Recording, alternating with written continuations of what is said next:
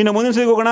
ಕರ್ನಾಟಕದ ಸಿನಿಮಾ ಸುದ್ದಿ ಸಾಕಷ್ಟು ಚರ್ಚೆ ಆಗ್ತಿದೆ. ಕಿಜ ಸುದೀಪ್ ಮೋಸ ಮಾಡಿದ್ರ? ಹಣ ತಗೊಂಡು ಸಿನಿಮಾ ಮಾಡಲಿಲ್ವಾ? ಈಗೆಲ್ಲ ಒಂದು ವಾರದಿಂದ ಚರ್ಚೆ ಆಗ್ತಾ ಇತ್ತು.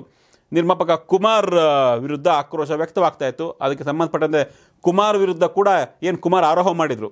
ಕಿಚ್ಚ ಸುದೀಪ್ ನಮ್ಮ ದುಡ್ಡು ತಗೊಂಡು ಸಿನಿಮಾ ಮಾಡಿಕೊಡ್ತಾ ಇಲ್ಲ ಅಂತ.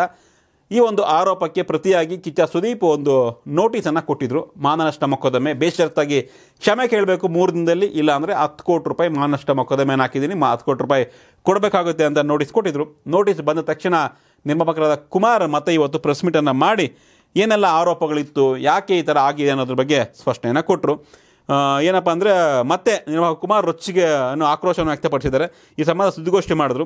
ಕಳೆದ ಹಲವು ವರ್ಷಗಳಿಂದ ಸಿನಿಮಾ ಮಾಡ್ಕೊಂಡು ಬರ್ತಾ ಇದ್ದೆ ನಾನು. ಸಾಕಷ್ಟು ಪ್ರಯತ್ನ ಪಟ್ಟಿದ್ದೆ ಸ್ಪಂದನೆ ಸಿಗಲಿಲ್ಲ ಸುದೀಪ್ ಅವ್ರದ್ದು ಹಾಗಾಗಿ ಬೇರೆ ವಿಧಿ ಇಲ್ಲದೆ ಸುದ್ದಿಗೋಷ್ಠಿ ಮಾಡಬೇಕಾಗಿತ್ತು ಅಂತ ನೋವನ್ನು ತೋಡ್ಕೊಂಡಿದ್ದಾರೆ. ಕಿಚ್ಚ, ಸುದೀಪ್ ಜೊತೆಗಿನ ವ್ಯವಹಾರದ ಬಗ್ಗೆ ಅವರ ಪತ್ನಿಗೆ ಹೇಳಿದೆ. ನಮ್ಮಿಬ್ಬರಿಗೂ ಸ್ನೇಹಿತರಾಗಿರ್ತಕ್ಕಂಥ ರವಿಚಂದ್ರನ್ ಸರ್ ಅವರ ಮನೆಗೆ ಹೋಗಿ ಮನವಿ ಕೂಡ ಮಾಡಿಕೊಂಡಿದ್ದೆ. ಅವರು ಸುದೀಪ್ ಜೊತೆ ಮಾತನಾಡಿದರು, ಆದರೂ ಪ್ರತಿಕ್ರಿಯೆ ನೀಡಲಿಲ್ಲ. ಹೀಗಾಗಿ ಮಾಧ್ಯಮದ ಮುಂದೆ ಬಂದಿದ್ದೇನೆ. ಈಗ ನೋಟಿಸ್ ಕಳಿಸಿದ್ದಾರೆ. ಅದಕ್ಕೂ ನಾನು ಎದುರಿಸ್ತೇನೆ. ಆದರೆ ವಾಣಿಜ್ಯ ಮಂಡಳಿ, ನಿರ್ಮಾಪಕ ಸಂಘ ಸೇರಿದಂತೆ ಅಂಗಸಂಸ್ಥೆಗಳು ಹೇಳಿದಂತೆ ನಾನು ನಡೆದುಕೊಳ್ತೇನೆ ಅಂತ ನಿರ್ಮಾಪಕ ಕುಮಾರ್ ಪ್ರತಿಕ್ರಿಯೆಯನ್ನು ಕೊಟ್ಟಿದ್ದಾರೆ. ಇನ್ನು ಇದೇ ವೇಳೆ ನಿರ್ಮಾಪಕ ಎಂ ಎನ್ ಸುರೇಶ್ ಕೂಡ ಮಾತನಾಡಿದ್ದು ಬೇಸರವನ್ನು ವ್ಯಕ್ತಪಡಿಸಿದ್ದಾರೆ. ಎಂ ಎನ್ ಕುಮಾರ್ ಪುತ್ರ ಹೇಳಿದ ಮಾತನ್ನೇ ನಾನು ಹೇಳ್ತಾ ಇದ್ದೀನಿ. ಅಪ್ಪ ಎರಡು ಮೂರು ಬಾರಿ ಆತ್ಮಹತ್ಯೆಗೆ ಯತ್ನಿಸಿದ್ರು ಅಂತ ನೋವು ತೊಗೊಂಡ್ಕೊಂಡಿದ್ರು. ಅದನ್ನೇ ಹೇಳಿದ್ದೇನೆ.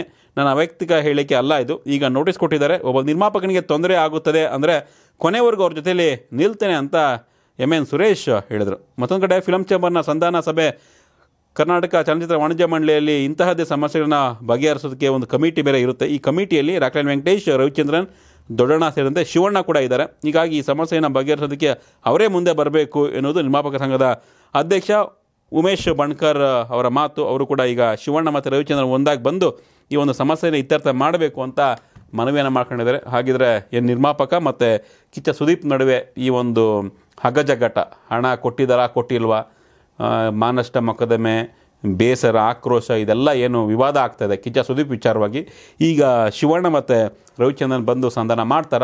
ಈ ಒಂದು ಪ್ರಕರಣಕ್ಕೆ ಒಂದು ಅಂತ್ಯ ಹಾಡ್ತಾರ? ವೆಯ್ಟ್ ಮಾಡ.